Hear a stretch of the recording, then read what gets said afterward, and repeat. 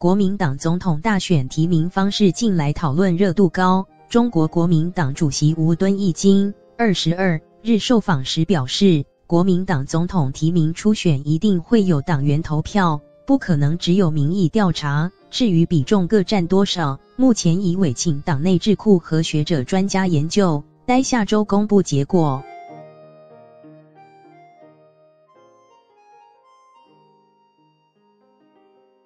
吴敦义经协同前高雄县长杨秋兴等人前往高雄市光德寺出席中国佛教会起建一百零八年人王护国习灾祈福大法会时，被媒体问及国民党二零二零总统大选提名方式，他指出，据过去经验与制度，国民党曾在总统初选民调，党员投票各占百分之五十，后来改成百分之三十党员投票，百分之七十民调。至于这回总统大选提名比重将占多少，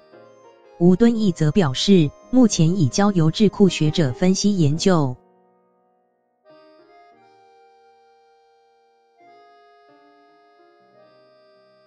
不过，吴敦义也强调，总统初选一定会有党员投票，不可能仅采全民调，比重多少则见仁见智，不能说哪个见解对或错。已委请党内智库和学者专家研究，预计下周就会公布结果。